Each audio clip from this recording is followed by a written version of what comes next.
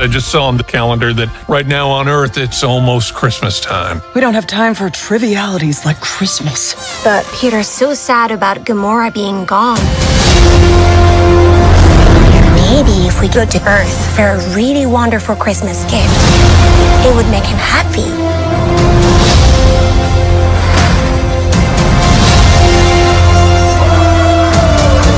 Something special he will never forget. What about someone special? We're looking for the legendary Kevin Bacon. We're looking for the legendary Kevin Bacon. I just said that, Drax. Your voice is small and mousy. I think maybe he didn't hear you. Ah! You're coming with us as a Christmas present.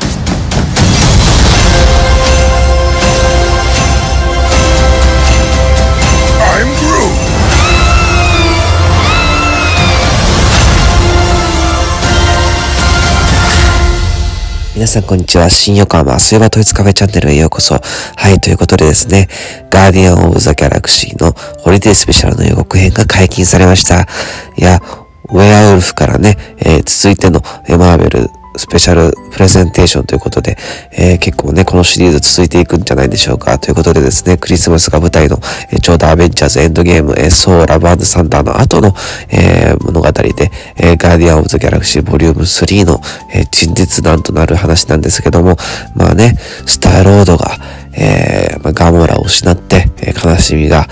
えー、ある中、えー、仲間たちが地球に戻って、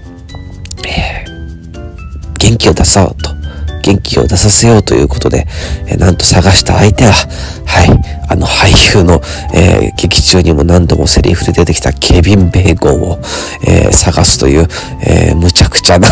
えジェームズ・ガンさんらしい、え素晴らしいストーリーになるということで、いや、これね、えいろんな、え展開を予想してきましたが、まさかの意外な、